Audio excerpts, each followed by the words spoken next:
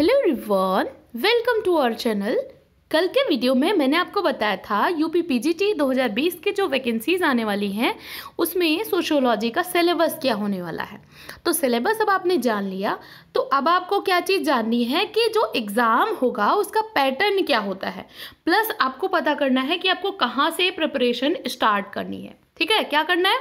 सबसे पहले हम समझेंगे एग्ज़ाम पैटर्न क्या होता है। तो अगर मैं बात करूँ एग्ज़ाम पैटर्न की तो जो पीजीटी का एग्ज़ाम होता है, इसमें आपको टोटल मिलते हैं वन ट्वेंटी फाइव क्वेश्चन कितने? एक सौ पच्चीस क्वेश्चन होते हैं, ठीक है?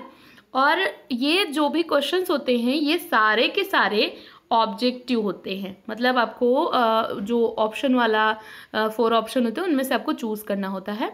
और ये रिलेटेड किससे होते हैं? तो ये रिलेटेड होते हैं आपके सब्जेक्ट से। सारे क्वेश्चन आपके सब्जेक्ट से रिलेटेड होते हैं, जो इसका मेन चीज़ है। जैसे आप एनटीए की प्रिपरेशन करते हो तो उसमें पेपर वन वगैरह भी होता है। बाकी आप असिस्टेंट प्रोफेसर की करते हो तो उसमें जीएस से क्वेश्चन आते हैं।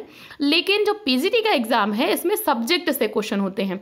लेकिन अगर हम सोशियोलॉजी की तैयारी कर रहे हैं तो सोशियोलॉजी एक ऐसा सब्जेक्ट है, जिसमें कि खुद ही, अपने आप में ही, उसका सिलेबस में ही जीके के जीएस के बहुत सारे क्वेश्चंस आ जाते हैं।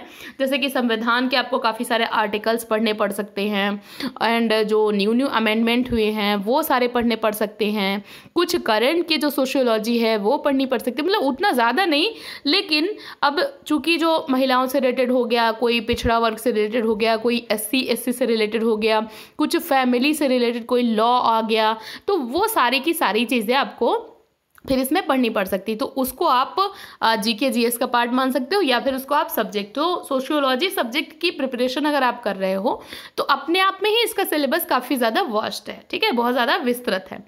अब सेकेंड चीज़ आपको जो जाननी है कि प्रिपरेशन कहाँ से स्टार्ट करें ओके एंड कितना टाइम आपको चाहिए। तो अगर मैं टाइम की बात करूँ तो मैं अगर खुद की बात करूँ तो मैंने जब पीजीटी का एग्ज़ाम दिया था तो मेरे दो एग्ज़ाम निकल चुके थे ठीक है? नेट निकल चुका था मेरा मेरा जे निकल चुका था एंड uh, मुझे सोशियोलॉजी पढ़ते हुए लगभग वन ईयर हो गए थे। तो उसके बाद फिर पंद्रह दिन मैंने डट के बिल्कुल अपना uh, हंड्रेड परसेंट देते हुए प्रिपरेशन करी एंड एग्ज़ाम दिया था तो उसके बाद फिर मेरी रैंक काफ़ी अच्छी आई। तो आपको क्या करना है कि आपको या तो अगर आप किसी एग्ज़ाम की पहले से प्रिपरेशन कर रहे हो, अगर आप नेशनल लेवल पे कोई एग्ज़ाम निकाल चुके हो या उसकी प्रिपरेशन कर रहे हो तो फिर आपको इसके लिए बहुत ज़्यादा वरीड होने की ज़रूरत नहीं है। लेकिन अगर आप फ्रेशर हो, आप एमए करने के सीधे बाद इसकी प्रिपरेशन करना शुरू कर रहे हो तो आपको कम से कम वन ईयर का टाइम चाहिए होता है पीजीटी की प्रिपरेशन के लिए। पीजीटी में उतना ज़्यादा टफ नहीं होता है, लेकिन इसमें कॉम्पटिशन बहुत ज़्यादा होता है। कॉम्पिटिशन लेवल मैं कहूँगी, इसमें एनटीए से भी हार्ड होता है। एक सीट के लिए आपको बहुत सारे कैंडिडेट दावेदार मिल जाएँगे तो आपको उन सबसे आगे निकलना होता है। तो कंपटीशन इसमें बहुत ज़्यादा होता है, ठीक है? अब कहाँ से शुरू करना है तो आपका स्टार्टिंग पॉइंट क्या होना चाहिए, वो चीज़ थोड़ा सा समझ लेते हैं। तो आपका सबसे पहले जो मैं सजेस्ट करूँगी कि आपको सबसे पहले एन पढ़नी चाहिए, ठीक है? अब एन में सारी बुक्स अब मत लेके बैठ जाना। एन की जो सोशियोलॉजी की बुक है, क्या पढ़ना है आपको? सबसे पहले एन की जो सोशियोलॉजी की बुक है, कौन से क्लास की? आपको इलेवेंथ की पहले पढ़नी है, फिर आपको उसके बाद ट्वेल्थ की पढ़नी है। अब एन के बाद अगर आपके पास खुद की कोई भी ट्वेल्थ एलेवेंथ की कोई बुक मिल जाती है, वो आपके पास है तो वो आपको पढ़ लेनी है। अब उस बुक में उतना ज़्यादा डेफ्थ में नहीं होगा। जो आपकी ट्वेल्थ की बुक होगी, उतना ज़्यादा डेफ्थ में नहीं होगा। लेकिन वहाँ से आपको क्या हेल्प मिलेगी? वहाँ से आपका जो डेफिनीशन है कई बार होता है कि कोई बुक होती है तो उसमें सारी डेफिनेशन नहीं होती हैं। अच्छा पीजीटी में कई बार ऐसे क्वेश्चन आ जाते हैं जो बिल्कुल अलग होते हैं तो आपको कई सारी बुक्स मिला करके पढ़नी पड़ेंगी। तो पहली चीज़ आपको पढ़नी है एनसीईआरटी की, एलेवेंथ, ट्वेल्थ की बुक। इसका आप इसको परचेस करने की ज़रूरत नहीं है, ये पीडीएफ फॉर्म में आती हैं।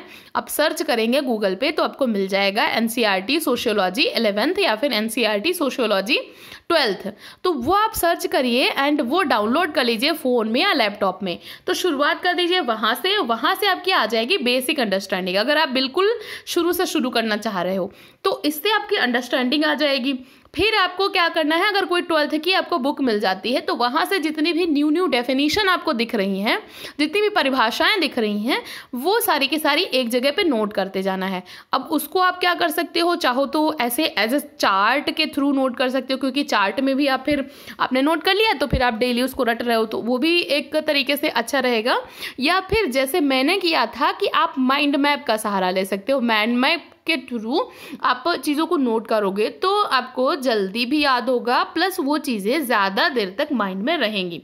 तो वो चीज़ भी कर सकते हो। अगर आप बोलोगे तो माइंड मैप टेक्निक मैं आपको बता दूँगी।